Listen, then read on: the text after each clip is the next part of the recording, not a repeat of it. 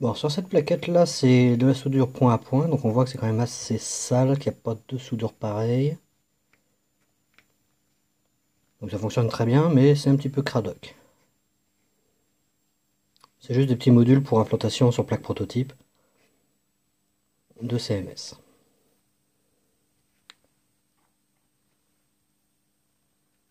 Autre façon de faire, qui est quand même un petit poil plus propre, c'est de faire un flux unique sur l'ensemble des pattes, et ensuite de passer une tresse à dessouder, hein, toute simple, comme ça, pour enlever le trop-plein, et ne laisser donc que les broches, euh, que les soudures définitives des broches.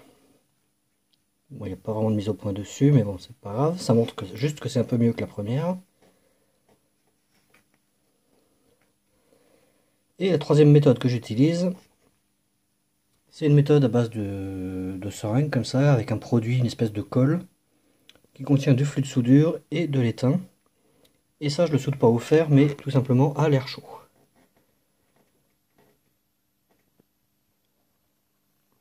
Dommage que la mise au point ne marche pas en mode zoom. Parce que là, on voit vraiment la différence.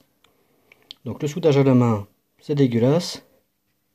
Un petit peu plus propre comme résultat manuel, c'est d'utiliser, en fait, faire des gros pâtés de soudure et de passer un coup de tresse à dessouder. Et là, c'est l'usage du flux spécial qui est fait exprès pour. Et on ne soude pas au fer ça, mais tout simplement à la pâte. Cette espèce de, ça ressemble à une pâte thermique au final. Et cette espèce de pâte là, on la soude tout simplement au pistolet à air chaud et pas au fer. Et là, pour le coup, les soudures sont vraiment impeccables.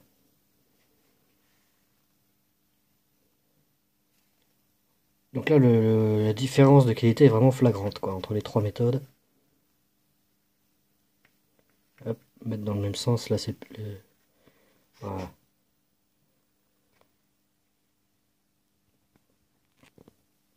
Alors j'aimerais bien faire une mise au point très zoomée, mais je peux pas avec cet appareil là malheureusement.